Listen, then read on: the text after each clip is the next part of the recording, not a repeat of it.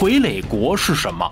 他们是受侵略或者外国势力控制，代表外国利益，内政、外交、军事均被外人把持的提线木偶。随着战争与冲突，许多傀儡国被建立又被推倒。他们为谁而生，又为何而死？这是冰墩墩不定期更新的系列视频《傀儡国往事》。二战时期，日本在中国扶持了数个傀儡国伪政权，名曰以华制华战略，通过该战略来减小占领区的治理成本。那么，诸多傀儡国中最著名的当属满洲国。那么，除了满洲国之外呢，还有一个由少数民族主导的、影响力同样不可小觑的傀儡国。在全面抗战爆发前呢，该国势力还与国民政府发生了正面战争，一度影响了北方局势。这个傀儡国就是蒙江联合自治政府。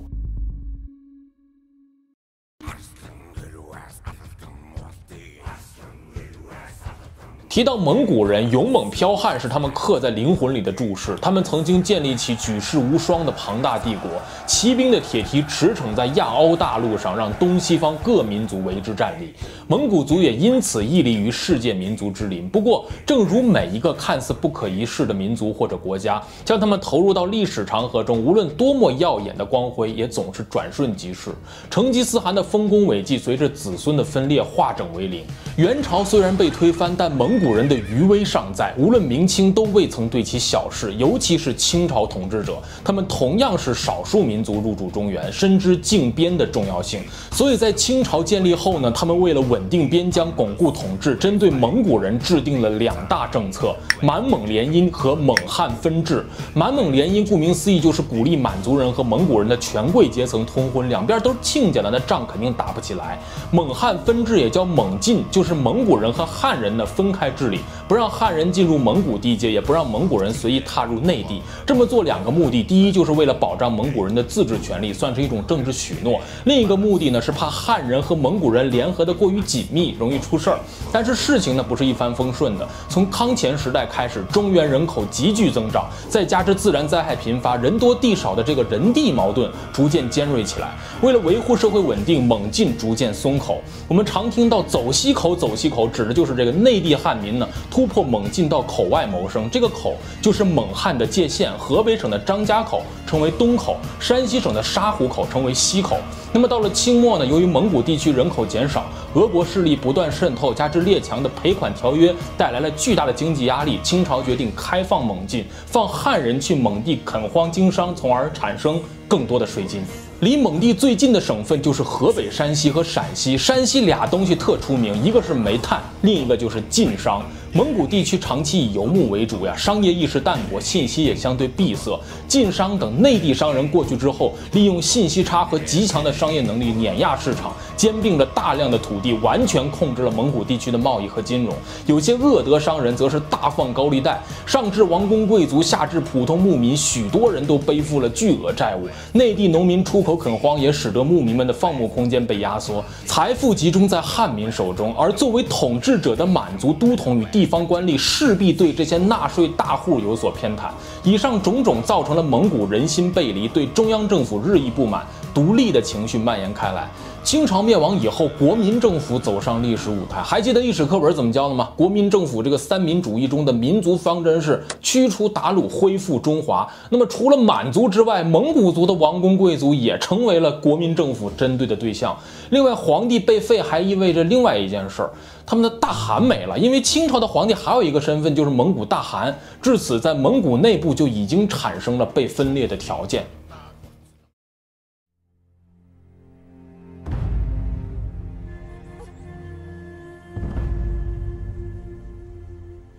中国北方地区一直备受日本人关注，其一是因为战略资源丰富，其二是因为俄国盘踞在中国北方。为了防止俄国势力率先控制中国，日本需要与之竞争。清末史称“远东大博弈”的战略竞争在东北亚展开，日俄在军事、外交等领域全面对立。他们通过强权对东北亚各地方势力与少数民族进行分化与控制，在中国北方地区建立傀儡国的祸根也就此埋下。开头提到的满洲国，实际上就是日本经。营东北多年的一个产物。因为蒙古和中央政府的裂隙逐步加深，俄国人看准时机，在一九二一年入侵了外蒙古。随着苏俄逐步控制俄国全境，其在蒙古扶持的蒙古人民革命党发动革命，击退了沙俄白军，且驱逐了在蒙古的中国军队，全面倒向苏俄。在蒙古人民革命党取得权力之前呢，身居蒙古高层的都是权贵阶级，他们与内地本来还有着千丝万缕的联系啊，深受中国传统文化熏陶。待到蒙古人民革命党上台后，由于他们缺乏与内地交往的这个情感基础，而且他们是俄国利益的代言人，因此决定彻底斩断与中国的关系，走上独立的道路。一九二四年，蒙古人民共和国成立，因为中央政府正在北伐，所以同意了苏联在蒙古驻军。外蒙名义上还在版图内，但实际上呢，已经。脱离了中央政府的控制。对了，很多人不知道外蒙和内蒙有什么区别啊？咱们看古代史的时候，经常听两个地理概念，一个叫漠北，一个叫漠南。什么卫青、霍去病把匈奴赶到漠北去，对吧？这个漠呢，指的就是戈壁沙漠。从汉朝时期呼韩邪单于降汉开始呢，中央政权就开始了对漠南地区的控制，有汉人进入到漠南地区生活繁衍。那么到了清朝时候呢，漠南地区叫内扎萨克蒙古，漠北地区叫外扎萨克蒙古。那个扎萨克是官名，省略。略到就是内蒙古、外蒙古，你可以这么理解，大家都是蒙古族，但是聚落不同罢了。看到了外蒙古被苏俄拿下，日本非常着急啊，于是就开始对内蒙古耍心眼儿。我们都知道，过去的省级行政单位划分和现在不太一样，在现如今的内蒙古自治区东部，在当时划分为三个省：察哈尔、绥远和热河。我们都听说过这个日本的大陆政策啊，征服满蒙，征服满蒙。一九三一年九一八事变爆发，日本关东军攻占中国东北。一九三二年伪满洲国就成立了。满拿下来了，接着就轮到蒙了。满洲国成立的时候有个大问题，就是除了轴心国呀，世界各国，尤其是国民政府，完全就不承认这么个国家存在。所以日本认为需要给国民政府一点压力，也顺便扩大满洲国的势力范围。于是，在一九三三年，他们协同满洲国的伪军进攻热河省，史称热河战役。守备热河省的是东北军的汤玉麟和张学良。那么关于这场战役的细节，我在以后满洲国这个节目里再展开。总之，战役持续了一月有余，东北军全面溃败，退守平津，关外领土全部丧失，热河正式纳入到满洲国的版图。占领热河之后呢，日本继续向西图谋，染指察哈尔。这个时候，侵略者看到了一个契机，这个契机就是我们之前提到的蒙古内部矛盾。内蒙古的王公贵族看到外蒙已经脱离了中央政府，也受到了泛蒙古主义。的影响，向中央政府索要自治权，这其中最有代表性的就是德穆楚克动鲁普，也叫德王。中央政府在日本和蒙古贵族的压力下，于一九三四年四月批准建立了蒙古地方自治政务委员会。这个德王呢就任秘书长，实际上主持政务。那么蒙政会成立以后，德王并不满足，继续与日本人勾连，妄图成立一个独立于中央政府的蒙古国。一九三六年，德王成立蒙古军政府，在蒙古军成立大会上，他声情并茂地说呀啊，这作为成吉思汗的第三十四子三三十世子孙啊，呃，誓愿继。承承成吉思汗的伟大精神，收复蒙古固有疆土，完成民族复兴大业。你这架势是不是要反攻苏联？咱也不知道啊。总之，在日本人的支持下，这个伪政府招兵买马啊，迅速组织起了两支武装力量，一支就是正规军的蒙古军，另一支呢就是由山匪散兵组成的这个大汉义军。据说啊，加入大汉义军的一个月给二两土烟，许多土匪就因此加入。你就想想这个战斗力能高到哪儿去吧啊！集合兵马之后呢，日本人开始策动蒙蒙古军政府对绥远发起进攻，史称绥远战役。上了年纪的朋友可能还记得以前电视上播的这个《情深深雨蒙蒙》里面就讲到了何书桓呢，为了忘记依萍，自告奋勇去了绥远战役这个前线当记者。后来杜飞和如萍谁的啊都去了，还遭遇日本人。其实绥远战役这个日军参战人数一共就三十人，基本都是顾问，前线基本都是蒙古军和大汉义军。不过我相信吧，蒙古军错认成日军也很正常，因为那个时候蒙古。军身上穿的完全就是日军的皮儿，属于高仿了。另一边呢，国民政府方面派出了傅作义率领着晋系的晋绥军迎战。不管是谁在打平安，我三五八团一定帮帮场子。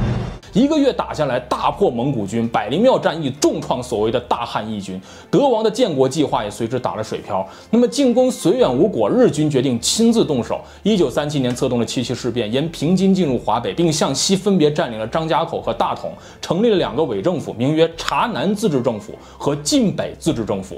为什么选择这两个地方重点管理呢？张家口是华北向西的要冲，交通关节，而大同呢，则是以煤矿闻名的煤都。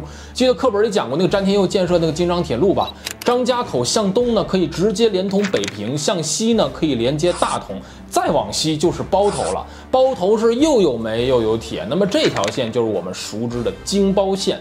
当然了，不管是蒙古军政府还是这俩自治政府，日本人都派了顾问，直接控制着军政要务。一九三七年十月，德王召开了第二次蒙古大会，定归绥为首都，改名为后和浩特，也叫后和啊，知道这个哪儿了吧？叫呼和浩特嘛，后和浩特啊。随后，这个日军也成立了一支地方驻军，专门照顾这几个伪政府，名曰驻蒙军，直属于大本营管辖。这三个地方被日本人叫做蒙江地区，并且组织成立了一个蒙江联合委员会，让这三家协同管理属地。德王呢，就是异常反感这个名称，因为他是一个十足的独立主义者，他认为这蒙江中这个江字其实表达了自己是中央政府的这个边疆啊，你日本人不应该让我精神也独立独立吗？但是你觉得一个日本人会在乎一个傀儡头子的想法吗？况且这个日本想要的是全中国，你要真的有那么一天。你这不还得是姜吗？所以当一个傀儡国的领导，你得明确自身定位啊！被包养就别谈独立人格了。一九三九年，日本可能是被猪油蒙了心了，对苏联下手了，发动了诺门汉战役，结果惨败。败了不要紧，他怕自己捅娄子招致报复，所以紧张啊，就想集中这个内蒙的力量来抵御苏联和外蒙古可能发动的攻势。于是上面那仨自治政府呢，就顺势合体，蒙江联合自治政府正式诞生。为了强化对核心地区的控制。改政府首都从呼和浩特迁至了这个张家口，这仨政府的旗本来就那么几个颜色，倒换来倒换去，合成一个政府之后还是那几个色。但是这个旗你非说它也有说道啊，不同颜色代表着不同的民族，蓝色是蒙古族，所以你看蒙古军政府的底色是蓝的。黄色是汉族，晋北和察南的底色是黄的，这就说明了哎，以什么民族为主体？白色呢代表着回族，红色呢代表着日本。你看，不管他们其他这几个颜色怎么调换，这红色都是在第一个和最中心的位置。所以你看这个旗也能看出来这几个政府到底啥成分。这个蒙江联合自治政府的一把手当然就是德王啊，当然还有个副手啊，叫李守信，负责替他掌兵。这俩人一直以为自己还有点操作空间啊，但是后来他们慢慢发现自己说话完全不算数啊，于是又想起委员长的好来了。一九三九年，他们居然通过戴笠和国民政府取得了联系，蒋介石勉励他们哎继续苟着，等待时机。但是这个国军的情报机关偶然间被日本人察觉了，俩人私通国民政府的事情东窗事发。日本本来是要重重的处理他们，但是出于稳定治理这个角度考虑，放他们一马。一九四零年，汪精卫政权成立。这俩人又跑汪精卫那儿要自治权，结果还真要到了。当然，日本人也不可能把这块核心区交给汪精卫。蒙江政府可以在公开场合呢打自己的政府旗，并且采用成吉思汗立法纪年，一直到一九四五年前，这个蒙江政权也就是偏居一隅啊，碌碌无为，没什么大动作。四五年八月，苏联展开了八月风暴行动，一面进攻中国东北的关东军和伪满洲国军队，另一面呢协同外蒙军队推进至承德、张北一带。德王和李李。守信逃往北平后，辗转到了重庆，寻求国民政府庇护。国民政府答应了他们的庇护请求，每个月给你发点钱啊，别再闹事就可以。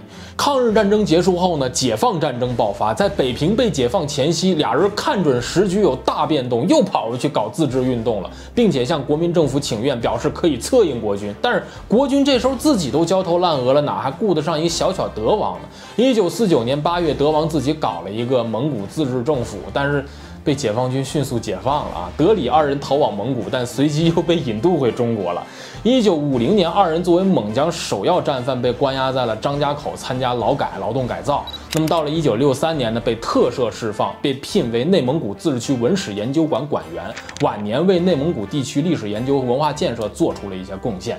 很多历史问题啊，它其实并不是孤立存在的，而是多重因素、多种方面长期影响的一个结果。包括蒙古问题，其实也是一样。其实它的核心问题就是地缘问题。包括苏联为啥非得把外蒙古分化出去？甚至到今天为止，国际间的各方势力还是盯着这块不放，重点都在地缘这儿。说到这个地缘啊。我有感慨，不管是研究者还是爱好者，都应该有这种感触，就是地理和历史真的关系太紧密了。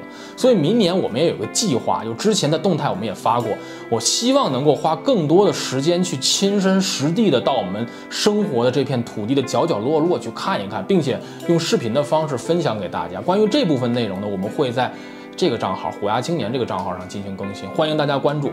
OK，如果你觉得视频看着得劲，麻烦动动小耳键三连，以后还更。